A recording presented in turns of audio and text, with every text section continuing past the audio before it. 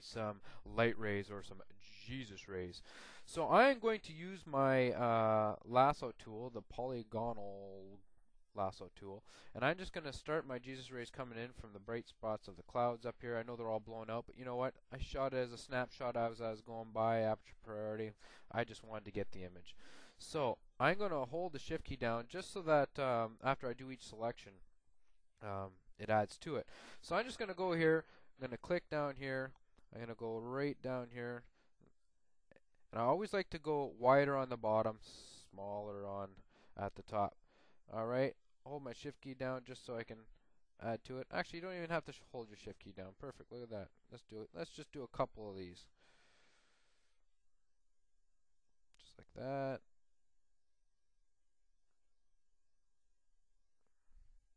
And you know what, we'll just go one more for good measure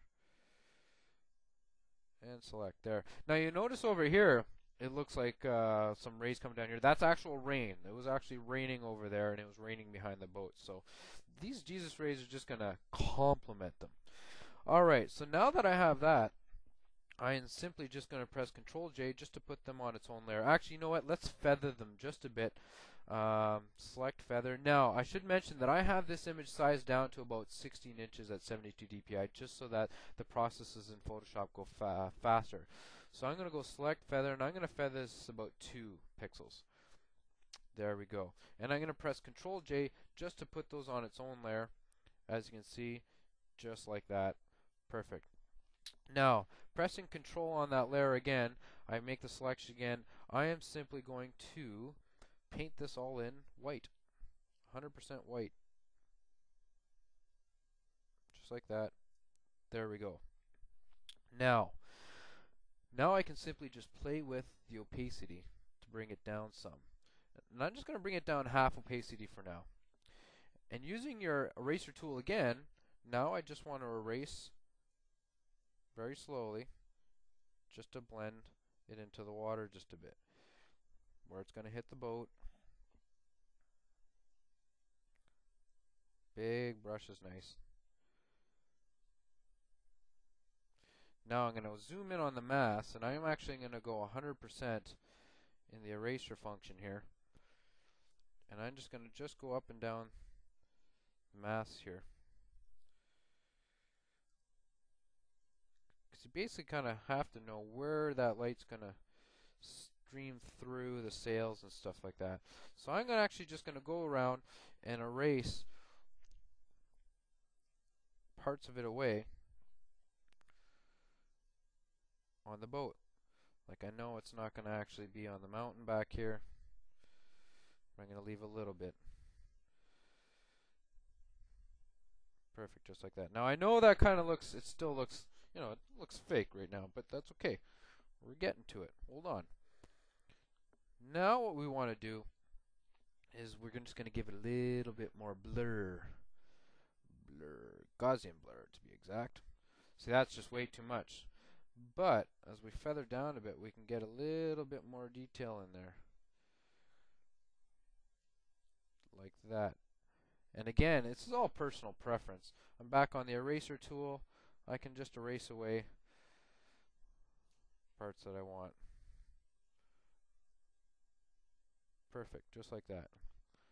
Alright. Let's just blend that in just a bit.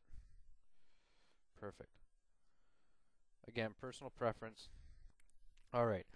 Now I'm not going to fiddle around with this too long because it is a tutorial. So let's just assume, hey, you know what? That's that's great. That's that's how I want. Now I'm just going to duplicate the uh, bottom layer just so I have an original the bottom layer. And I'm going to actually merge the top two layers. So I'm just going to click the top layer, press Control E to merge it with the bottom layer, and now I have a whole image as one. Now, again, just because I want more impact, I'm going to duplicate the layer again. I'm going to do that whole multiply technique again. And we're just going to play around with the opacity there, just like that. And I'm going to take the top layer. Basically, I'm just doing exactly what I did the first time I did this. I'm just going to race back up here. Perfect. Actually, you know what? I kind of like the dark up there. Right here I'm going to race.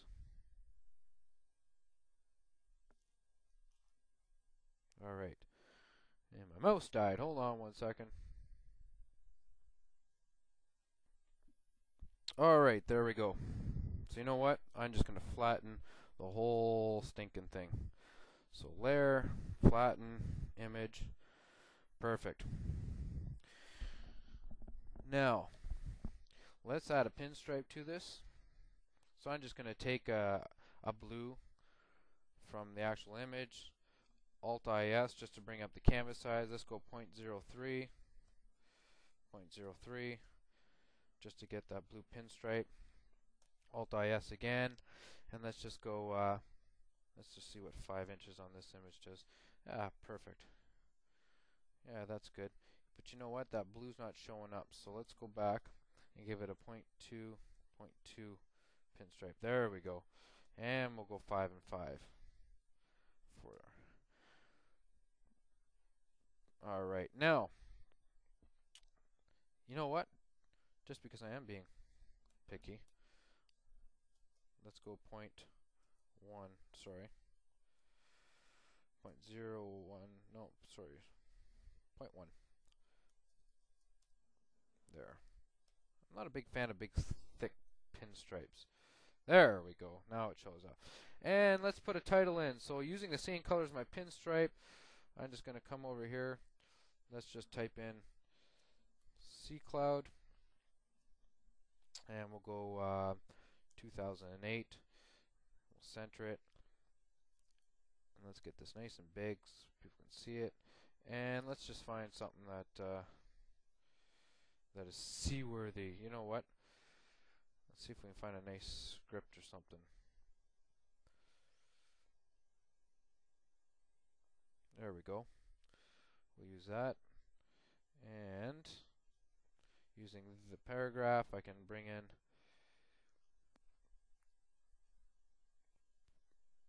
space, increase the size.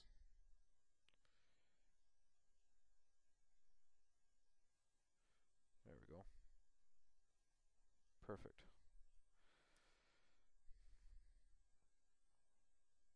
Right about there. Beautiful. That's about it. You know, I got just added a little bit more uh, dramatic image to the image that I already had. So I'm going from there. See if I still have one in here. From that